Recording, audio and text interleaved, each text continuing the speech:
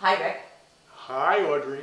it's such a wonderful privilege for me to be able to be your interviewer on this auspicious occasion, this milestone in your life.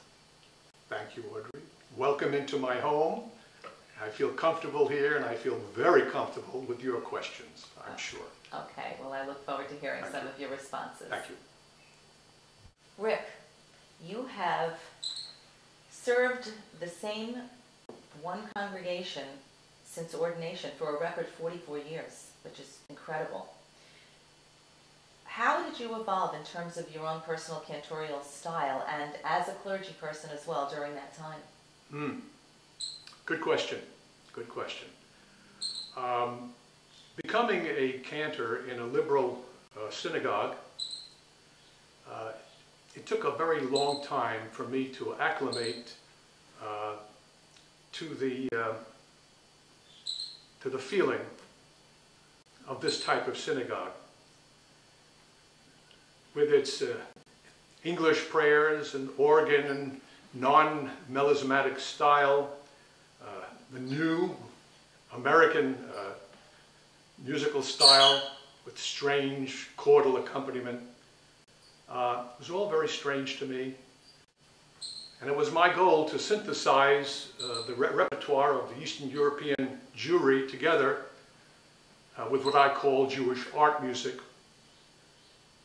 Can you tell us, you know, you've been doing this for a really long time, and um, for those of us who don't have that kind of lengthy perspective, can you tell us a little bit about some of the changes that you witnessed to be the most profound in Judaism or Reform Judaism in general?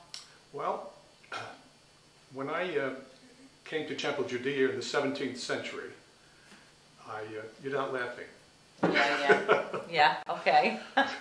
Most of the people were much older than I. It was the I was 24 years old around, and uh, they were much older than I. They seemed ancient, and they had a foot in the tradition of the past. So they had a memory of that. So when I did my chazanut, they said, "Oh, our, our cantor can sing chazanut." They were very proud and they loved it. So I had a lot of uh, freedom with that. However, uh, as time went on, and uh, concepts such as uh, Synagogue 2000 entered into the scene, uh, there was a, uh, a turn, a turn in the, uh, in the responsibilities of the cantor to the congregation. It became a conflict for many of us. And frankly, it was a great effort to try to uh, avoid traditional chazanut and melisma in favor of the singable tunes of the congregation and uh,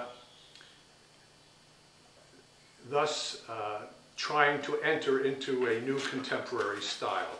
It became clear that the uh, cantor had to adjust uh, his or her repertoire to meet those needs, and the successful cantor had to cleverly meld both musical idioms. I believe during my final years, uh, I was able to achieve that happy medium even without, you know what. Okay. That's that's a big challenge. I'm just going to ask you, given your your lengthy career and your successful career, do you have any advice that you would give to a newly invested cantor? Well, A, I'm glad I'm not on a pulpit anymore. But from my perspective, I think there are certain basic uh, tenets which uh, should be followed, whether it was in my generation or, not, or, or this generation.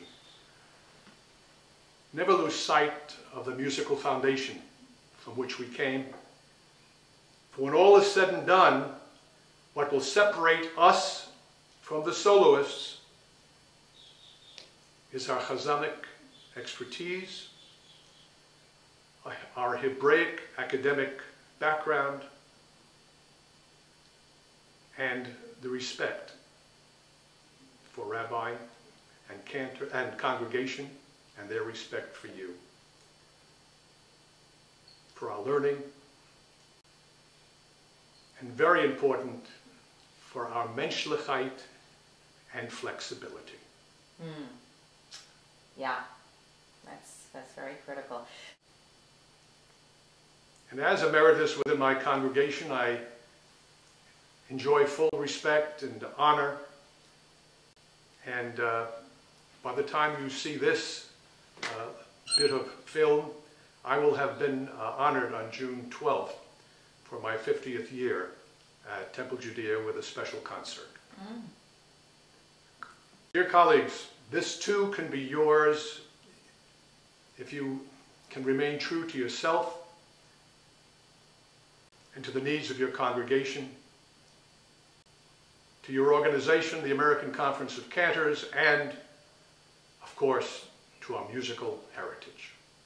Well, Rick, I want to wish you, on behalf of the whole ACC, Mazel Tov on your most recent achievement and on all of your achievements over your entire career. We are so, so proud and happy to be celebrating with you. Mazel Tov. Thank you. It's an honor to have been interviewed by you and also to be your close, close friend. Yes, my honor as well.